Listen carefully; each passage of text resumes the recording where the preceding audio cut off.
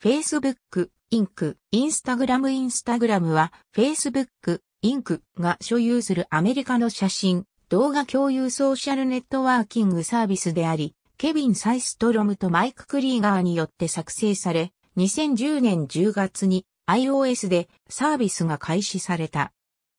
2012年4月に Android 版がリリースされた後、2012年11月には機能限定のデスクトップ向けインターフェース、2014年6月には FireOS 向けアプリケーション、2016年10月には Windows 10向けアプリケーションがリリースされた。このサービスでは、ユーザーはフィルターで編集可能なメディアをアップロードし、ハッシュタグやジオタギングで整理することができる。投稿は公開したり、事前に承認されたフォロワーと共有することができる。ユーザーはタグや場所別に他のユーザーのコンテンツを閲覧したり、トレンドコンテンツを閲覧することができる。ユーザーは写真に、いいね、をしたり、他のユーザーをフォローして、自分のコンテンツをフィードに追加したりすることができる。Facebook、Inc が運営していることで、Facebook との連携機能に強みがあり、利用者データの共有や Facebook と同じターゲット広告の仕組みを持つ。インスタグラム共同創業者のケビン・シストロムとマイク・クリーガーは2018年9月にインスタグラム社を退社した。Facebook とは大きく異なっている部分もあり、Facebook では基本的に個人ユーザーの場合は実名での登録が原則であるが、インスタグラムでは他の SNS と同様に匿名での登録も可能となっている。コダックのインスタマチック及びポラロイドのインスタントカメラに配慮して、インスタグラムの投稿画像は正方形が基本である。サンフランシスコのケビン・シストロームとマイク・クリーガーが、ベースラインベンチャーズとアンドリーセン・ホロウィッツの2社から財政的支援を受けて、インスタグラムのグループは始動した。バーブンという名の当初のプロジェクトには数々の機能があった。クリーガーが参加した後でチームはモバイルにフォーカスしたものを選択した。そこで残ったものがインスタグラムである。2010年10月6日、アップルのアップストアに登場したインスタグラムは同年12月までに100万人の登録ユーザーを獲得。登録ユーザー数は翌2011年6月までに500万人を突破し、同年9月までには1000万人に達した。2010年10月、インスタグラムの発表された直後にコミュニティマネージャーとしてジョシュ・ライデルが加わった。同年11月には技術者としてシェイン・スウィーニーが翌2011年8月にはコミュニティエヴァンジェリストとしてジェシカ・ゾールマンがそれぞれ加わった。2011年1月、ハッシュタグが導入され、写真探しが容易になった。同年9月、バージョン2.0が App Store に登場した。このアップデートでは、ライブフィルター、インスタントティルトシフト、4つの新フィルター、高解像度画像、オプションのボーダー、1、クリックローテーションが加わり、アイコンが新しくなった。2011年7月、インスタグラムは、同サービスに1億点の画像がアップロードされたことを発表。同年8月には、総数1億5000万点に達した。2012年4月には、Android 2.2以降とカメラを搭載したデバイスに対応した。2016年6月22日には全世界のユーザー数が5億人を超えた。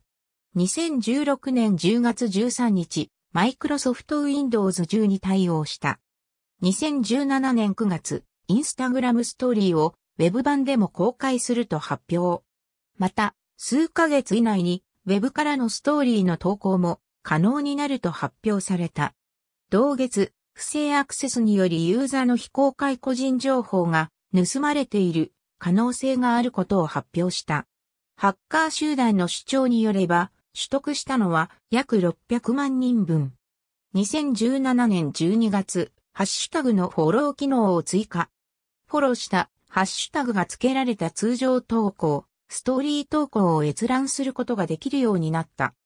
2014年2月に日本語アカウントが開設され、日本の月間アクティブユーザー数は2015年6月には810万人、2016年3月に1200万人、同年12月2600万人、2017年10月に2000万人に達している。2019年末時点では3000万人を超えた。電通メディアイノベーションラボ主任研究員の天野明は、インスタグラムをはじめとする SNS が、買い物やお店選びのためのユーザーの検索行動の場に進化しているトレンドを踏まえ、若者を中心に情報との出会いはググるからタグルへシフトしていると分析した。インスタグラムに投稿する写真として適した見栄えの良さを意味する写真写りがいい、写真向きであるという意味で、インスタ映えという言葉が2017年のユーキャン新語、流行語大賞にて年間大賞に選定された。なお、この年間大賞はファッション雑誌キャンキャンの読者モデル3人が受賞している。また、ネガティブな故障としてインスタ映えという別称も生まれた。フォトジェニックインスタ映えは日本以外の国ではフォトジェニックと呼ばれ、流行した。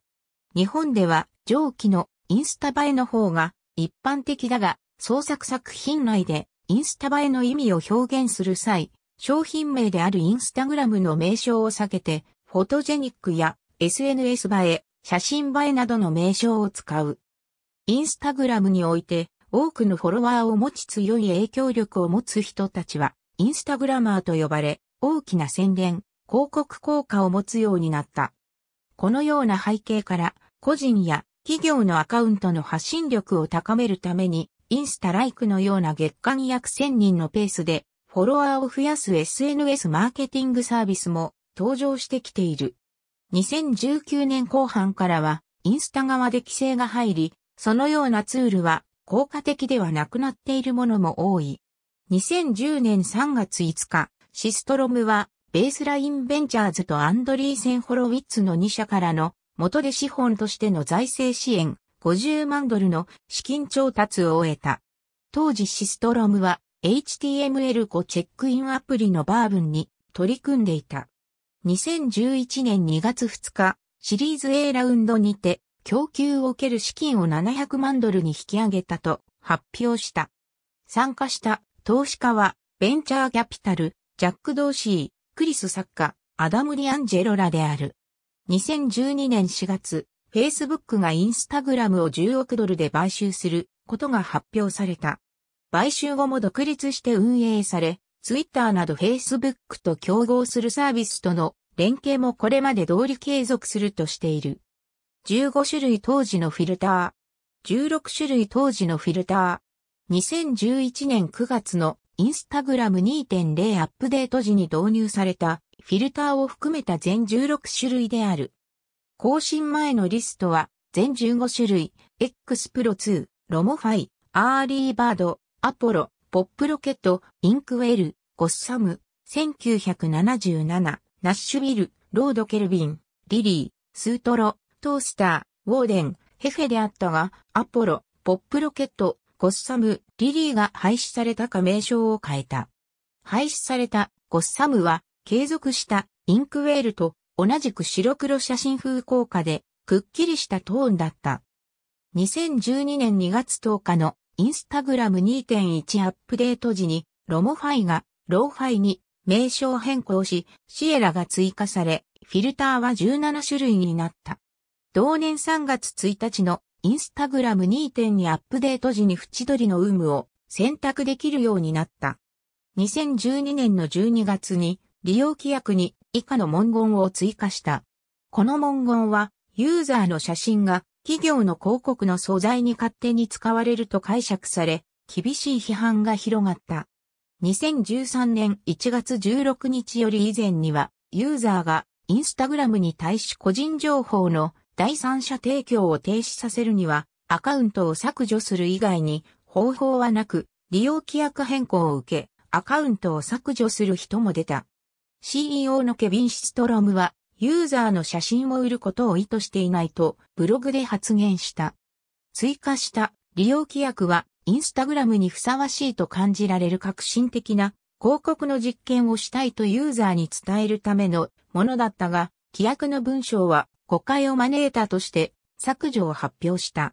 この利用規約の変更とユーザーの反発を受け、競合する他社の写真共有サービスがプライバシーへの配慮を宣伝してアピールする動きがあり、大幅にユーザーの増加した他社サービスもあった。2012年12月20日に、インスタグラムは利用規約の広告に関するセクションを2010年の版に戻すと告知した。ザ・バージは元の利用規約にはインスタグラムはいつでもほとんどどのような用途でもユーザーの写真を広告で使う権利があることを意味する place such advertising promotions on the Instagram service or on, about, or in conjunction with your content という文言があると述べている。利用規約の更新では、仲裁条項も追加されている。ユーザーの写真に対する嫌がらせや否定的なコメントがあり、インスタグラムはユーザーが投稿やコメント欄を細かく管理できるよう改良してきた。2016年7月にはユーザーが自分の投稿のコメントを無効にしたり、不快と考える単語を使った投稿を技術的にコントロールできるようになったと発表し、著名人には8月に実装し、続いて9月に一般向けに実装された。12月にコメントを無効にする機能を導入し始め、個人アカウントの場合はフォロワーを削除した。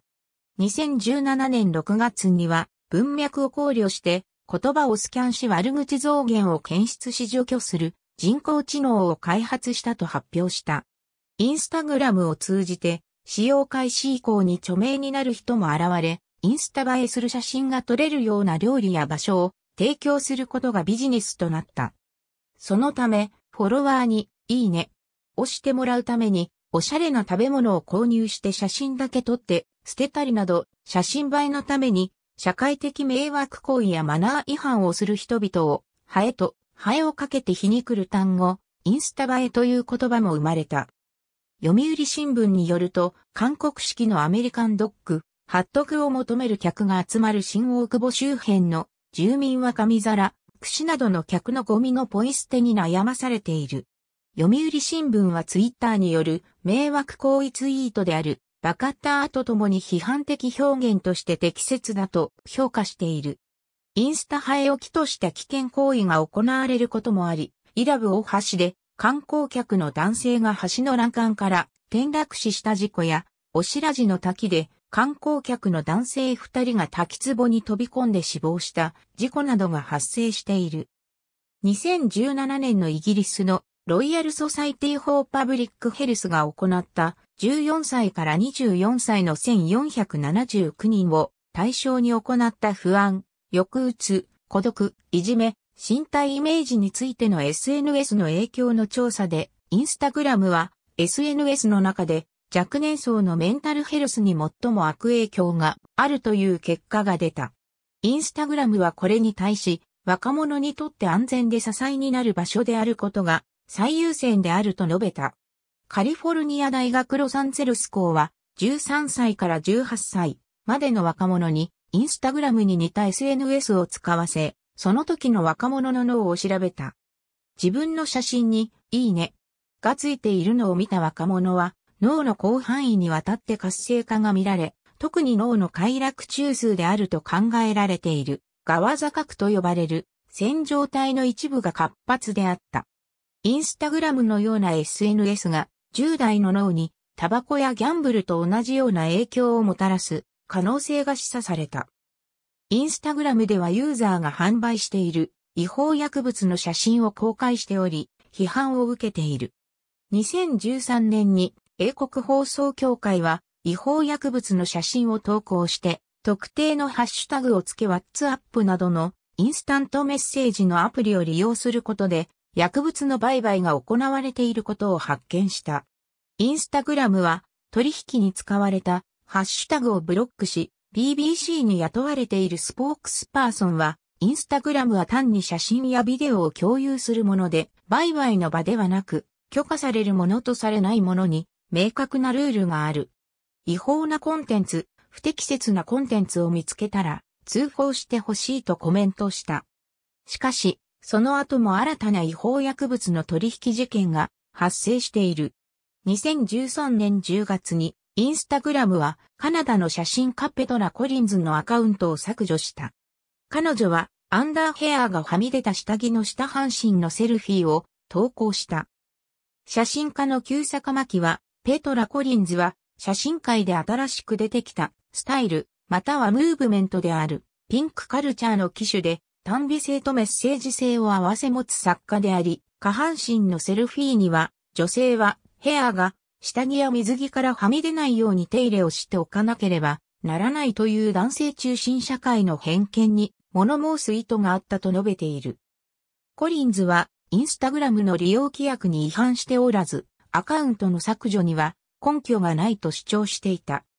ザ・デイリー・ドットのオードラ・シローダーは、インスタグラムは、ポルノや性的な写真の投稿は許されていないが、一体誰がそれを判断しているのか、コリンズより、性的な写真がサイトにはあるが、これは女性がフェミニニティな側面を提示することに見慣れ、受け入れている場であるからに過ぎないと書いている。2015年には、ビキニから陰毛がはみ出ている写真で、オーストラリアのファッションエージェンシースティックスストーンズエージェンシー S のアカウントを2015年3月には月経血のついた布の写真で詩人のルピ、カウアーのアカウントを停止している。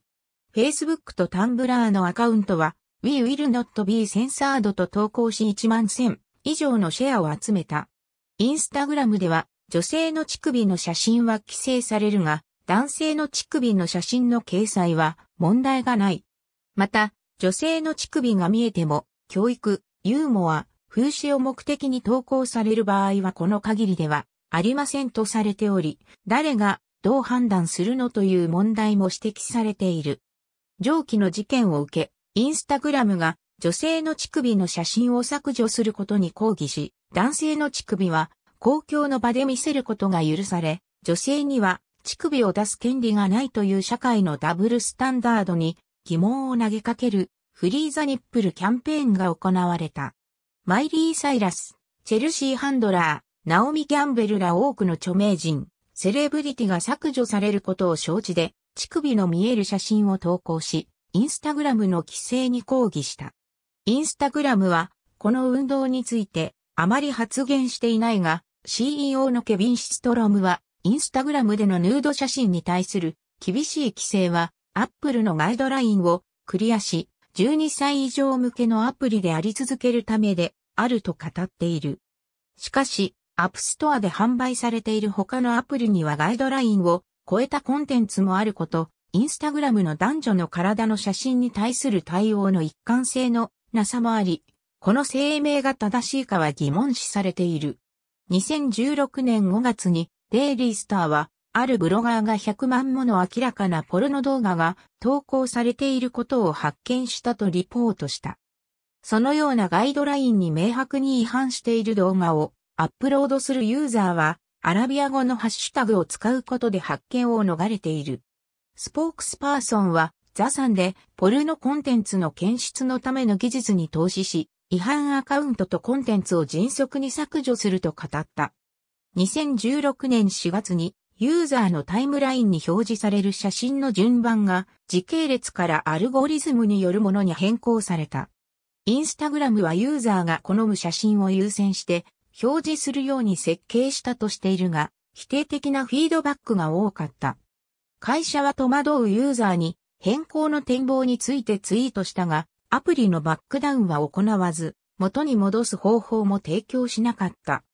2017年中頃、無関係な多くのハッシュタグを使うユーザー、大量のエンゲージメントを得るために金銭を払うユーザーの対策を始めたと発表した。俗にシャドーバンと呼ばれるこの対策では該当するアカウントは検索結果やアプリのエクスプローラセクションに表示されなくなる、つまり BAN されている状態になる。インスタグラムは、現在は削除されている Facebook の投稿で、コンテンツを開発するときには、ハッシュタグよりビジネスの目標に集中するよう書いていた。ありがとうございます。